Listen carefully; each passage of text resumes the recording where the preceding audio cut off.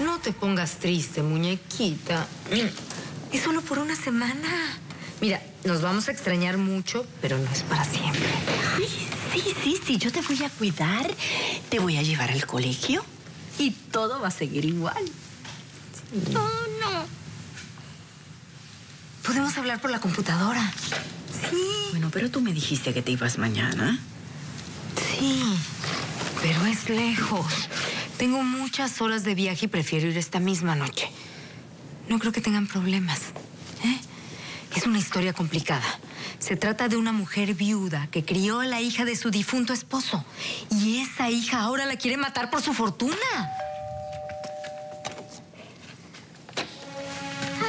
Hola, hijita.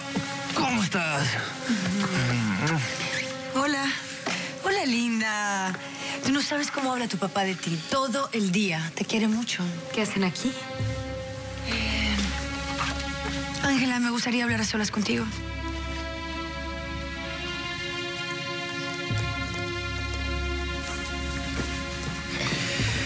Bueno, quiero que tú me cuentes cómo vas con los deberes.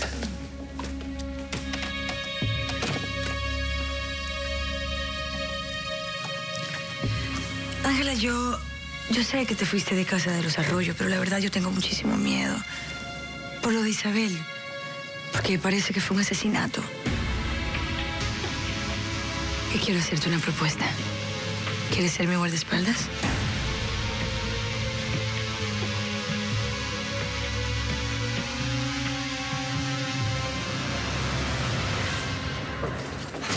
Pasaba a saludarte, que estés bien. No, no, no, pásale, pásale. Termino de revisar estos papeles y ya también me voy. Aunque creo que me va a tomar un poco de tiempo. Marcos, tienes una capacidad de trabajo impresionante, a pesar de todo lo que te ha pasado. También es una manera de distraerme, de pensar en otra cosa. A veces siento que mi cabeza va a estallar.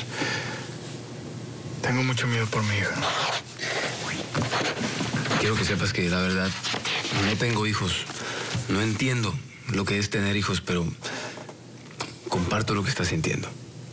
Tú y yo no somos amigos, apenas nos conocemos, pero para lo que necesites a la orden. Gracias. ¿Aló? Gracias por avisarme. ¿Malas noticias? Renzo Mancilla, el guardaespaldas de mi mujer, al que buscaban para interrogarlo, apareció muerto.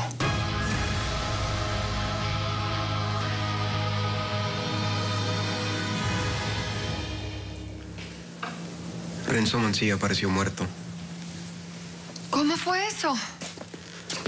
Quemado dentro de un auto. Dios mío, no puede ser. Tranquila. Ven.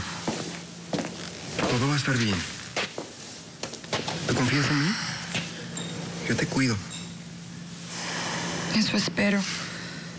Que no solo cuides a la señorita Emma y también cuides a la persona que no deja de pensar en ti.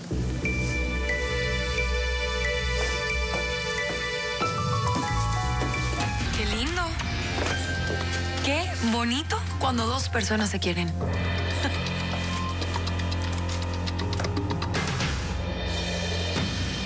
Estoy seguro de que a Emma le gusta el guardaespaldas. Eso es imposible. Ella es la típica niña rica que jamás se juntaría con alguien que no sea de su misma clase.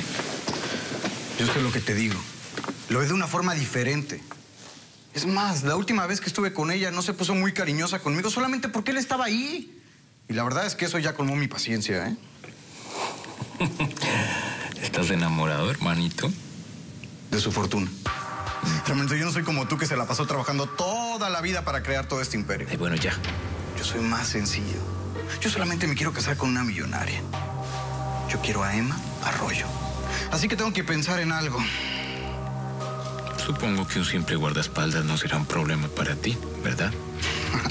Por favor. A propósito, ¿supiste algo de la muerte de Isabel? No, ¿eh? Aunque la última vez que estuve en casa de Emma había un inspector de la policía.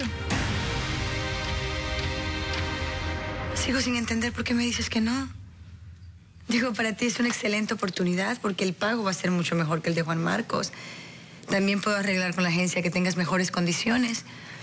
Además, voy a aceptar a tu hija para que las dos vivan en mi casa. Qué linda. Todo suena maravilloso, pero su chofer es mi ex marido. Y si decidí separarme, no es para terminar viviendo con él otra vez. ¿Es idea mía o ya tienes otro hombre, Ángela? No, no, no, no se trata de eso. Lo que pasa es que cuando doy un paso hacia adelante, no me gusta volver hacia atrás. Claro. ¿Terminaron de conversar? Sí, mi princesa hermosa. Vámonos, Luis. Ni modo, no la pude convencer. Es una pena. Adiós, mi amor. Adiós, papi. Te amo.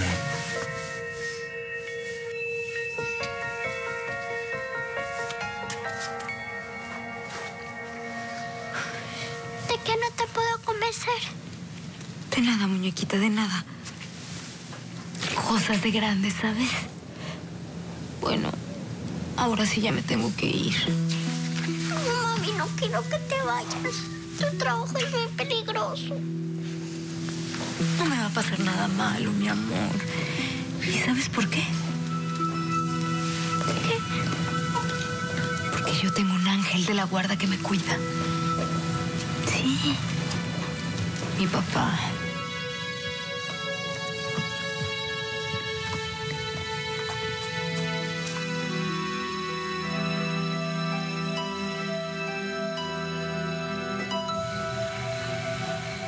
Créeme que, que pensé mucho antes de venir a hablar contigo porque no quería revolver el pasado. Pero es importante que sepas que entre Willy y Samantha hubo una relación cuando eran adolescentes. Justo cuando él regresó de Londres y estuvo en Los Ángeles, ¿recuerdas? Mira, yo sé que tú no tienes edad para conquistar a Samantha, pero era importante que supieras que existió esta relación para que no te interese.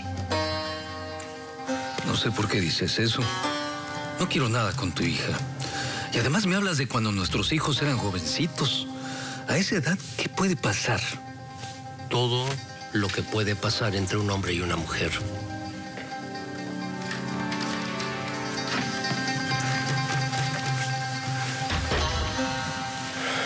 Willy, aquí mi visita termina. Con permiso. Me voy a descansar. Tu padre vino a hablarme de ti. Me dijo lo que pasó entre Willy y tú cuando eran adolescentes.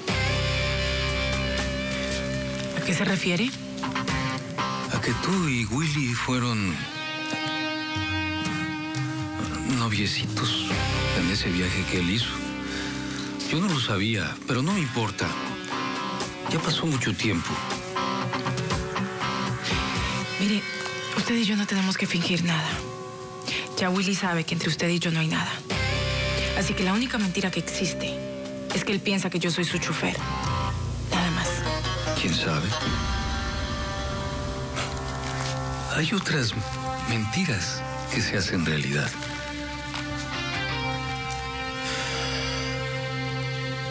Hablo de que te conviertas en mi amante.